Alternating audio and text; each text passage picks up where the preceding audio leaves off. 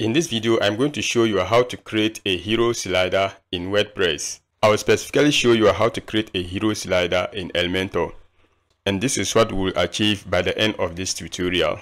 Users of your website can use the controls here to change the slides, as you can see, or you can make it automated, just like this. How cool is that? It should be noted that with this tutorial, you can have a full slider or you can break them just as I have on my website here. You can see that I have the slider at the left side and another static sliders at the right side. So if you like what you have seen and want to create a slider for your website, keep watching. Hello guys, this is Swadik here at Dikupages Web where I do web tutorials just like this one. So if you are new here, consider subscribing. That said, let's jump into the video. So this is the website on which I want to create the slider. As you can see, the hero section here is pretty much boring. And I'm going to show you how you can make it beautiful with a slider. So to get started, we are going to install a plugin. To do that, I go to the back end of my website. I'll just right click, open link in a new tab. I don't want to lose this page because I'll be coming back to it. Then I go over to plugins, click on add new plugin. Under search plugins, I type Sina or Sina, whichever way you want to call it. It is S-I-N-A. I have the plugin here that is Sina extension for Elementor by Sina Extra. I go ahead and install it. It is installed. I activate. The plugin is installed and activated successfully. Next, I go over to the front end of my website then I open it with Elementor. Take note, I'm on the home page of the website. So I edit with Elementor. Inside the Elementor editor, the next thing I do is create a section where I want to add my slider. So as you can see, I don't have any space I can do that. What I can do is click on this plus icon right here and it will make room for new section. I click on the plus icon that is add a new container and I'm going to go ahead and use Flexbox container. From here, you can choose the structure you want. For this demonstration, I'm going to choose the double column structure. As you can see, the two columns are of the same width. However, I want the left side to be larger than the right side. So what I can do is hover here. Upon getting these two headed arrows, I just click and drag.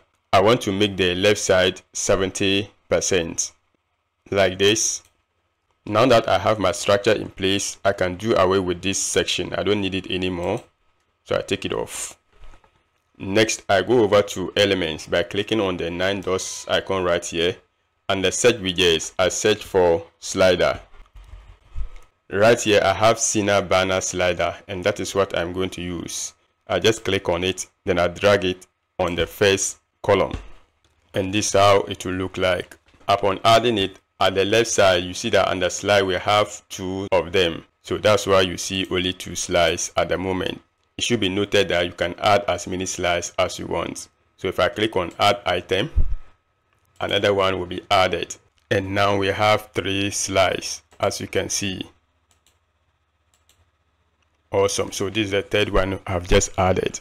Before i start customizing my slider the next thing i want to do is change the height so I go over to style. At the moment the height is set to 600. I'm going to change it to 500. You see that 500 is kind of cool. However, you can set it to whichever height you want. You see that there's much space at the upper part. Meanwhile here there's no enough space. So for top, that is padding. Instead of 200 pixels, I'll make it 100 pixels. The next thing we want to do is start adding content to our slider. So I go back to content the first slide I just click on it and you see that I can choose image here. So I click on choose image. If you don't have the image you want to use you can easily go to upload files. Then you choose your files from here. Since I have the images I want to use I'll just pick them from my media library. I select this. That is the first image I'm going to use. And I click on select. And you see it right there. This text welcome to get start your business this is where you can change the title. So i select everything then i enter. I have welcome to dnk shoes and that is what we have here. The next title, if you want to add some multicolor to your text, for instance, if I want DNK shoes to be in a different color, what I can do is I'll just take it. By cutting it off, then I go ahead and enter it in here.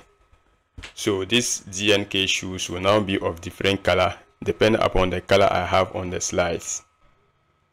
As you can see, alright, I need to create some space here so that there will be space right here. Perfect. So this is how it will look like. Next we have the subtitle that is this one, this Lorem Ipsum and this way you can change it. Going down we have the description which is this one. That is the small text right here. So if you have another information you can go ahead and add it. I'll leave the demi contents for now.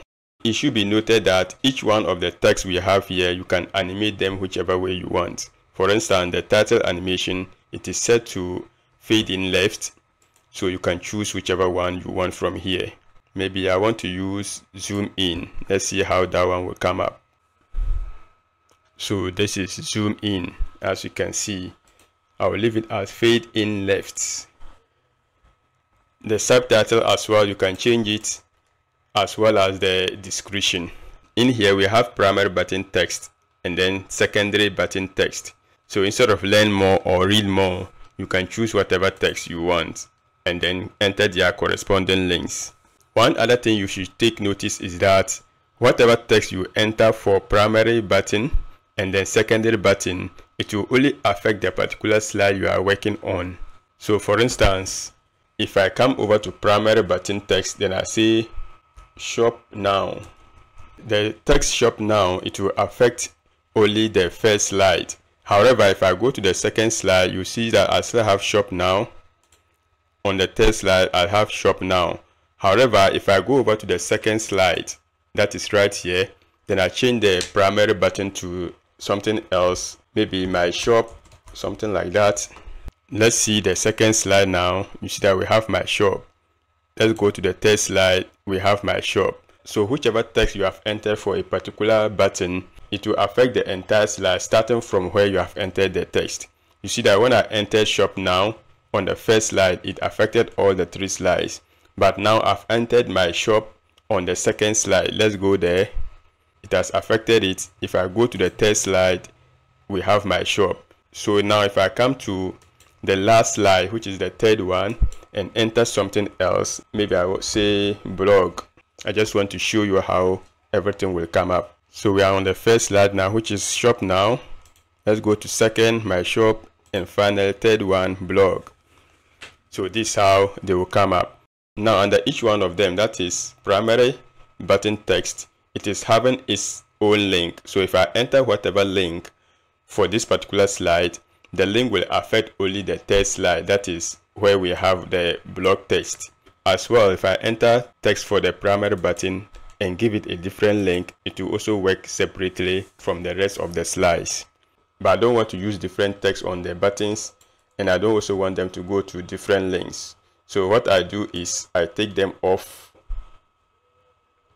like this. Even on the first slide i'm going to take it off and i'll show you another way you can customize your text. If you are finding value so far please give this video a thumbs up. It does help me out so that the video will be suggested to more people on youtube and also benefit more people. Alright let's continue. Now we have entered the text and the image for the first slide. Let's work on the images and text for the rest of the two slides.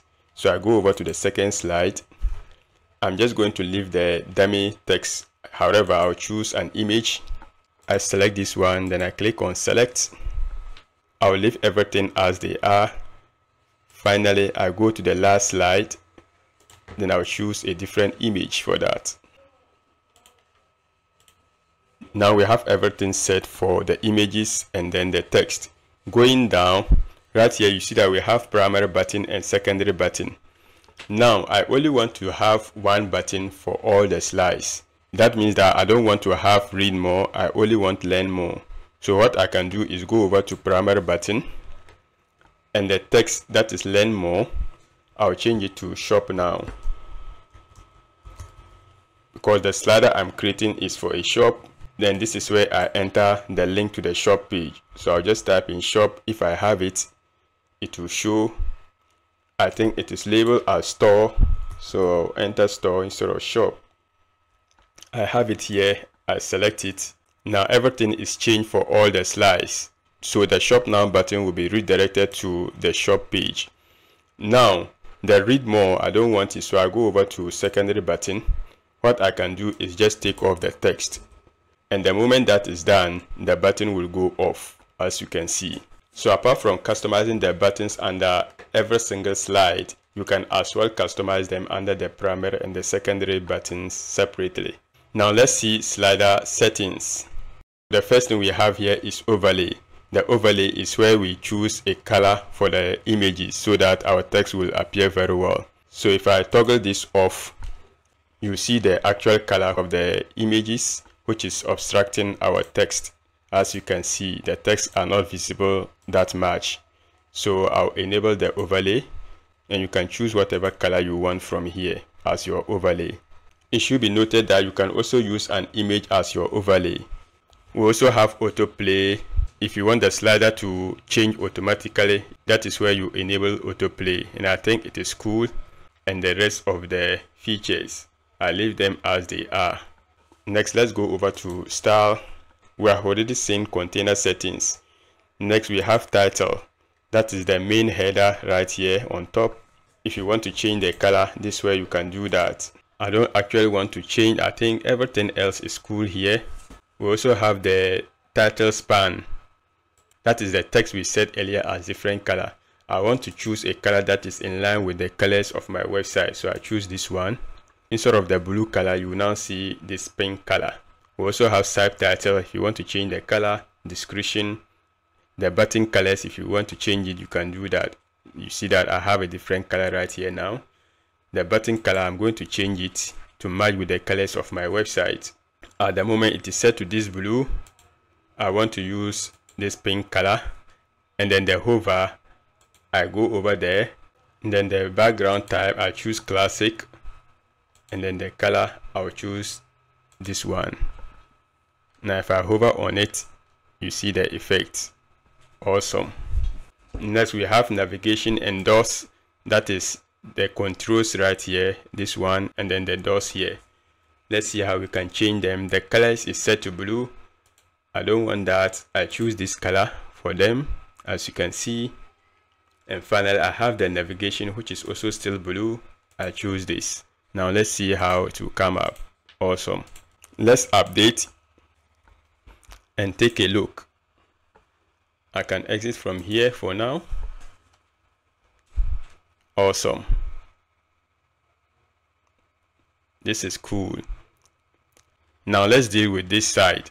Going back with this you can just use some static images for them. But if you want to have it as we saw on the introduction let me show you how you can do that.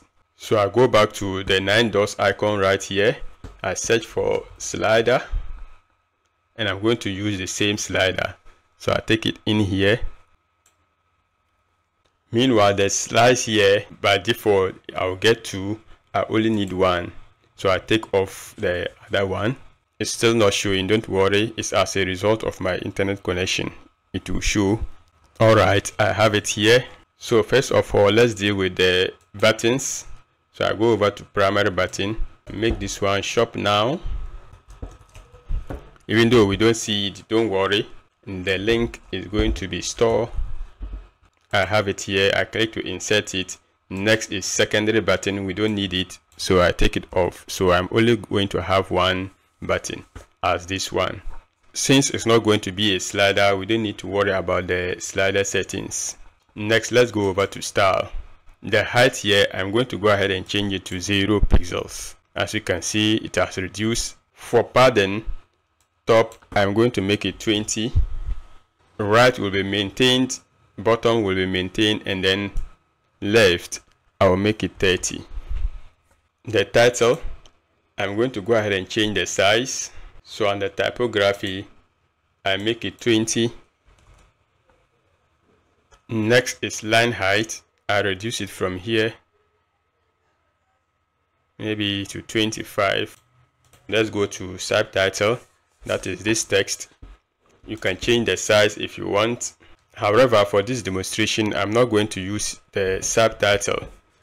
If you want to change it this way you can do that. So i will omit it for now.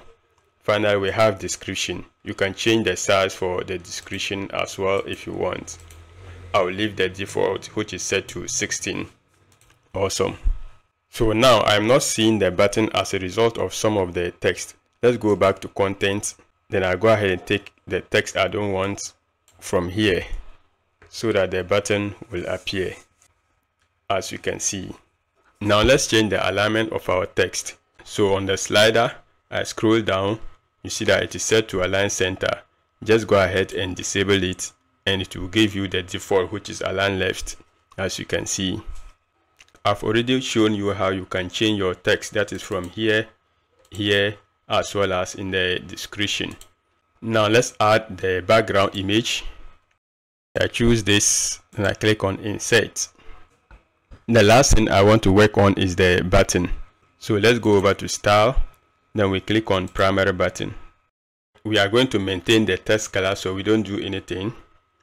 The background color I click on the color and I'm going to go ahead and take the opacity way to the end. You see that we don't have the background color anymore. Next thing we want to do is go down. Under border type i'm going to go ahead and change it to solid. You see that we have a border. And this is where we can set the border size or border width. To do that i unlink the values. Everything is gone off. Next i come over to bottom. Then i go ahead and enter in one so this is how it will look like. I only want the bottom border. Going down you see that there's some kind of radius on our border. We don't want it. So i change the radius from 4 to 0 and it will run through all of them and you see that the radius is gone. Next is padding we don't need the padding we want the text to be at the end right here. So what i do is i link the values together for padding then i'm going to go ahead and change it to 0 and this is how it will look like. Awesome.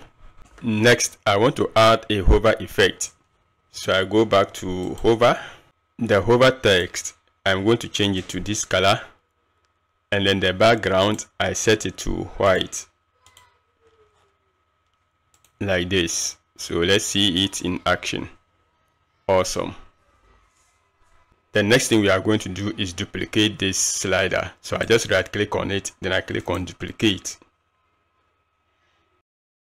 So we don't need to perform the editing here anymore. All what we need to do is change the background as well as our text. So to change it make sure it is selected. Then you click on the slide right here. Choose a different image. I'll choose this one then i click on select. And we have it right here. It will show don't worry now i can update one more thing you can do is Instead of setting all the slides to the shop page, you can as well use some of the categories on your website. That is if you are creating the slider for an online store. Let's take a look. Perfect. This is kind of cool. I like it. We are done creating our hero slider. Perfect.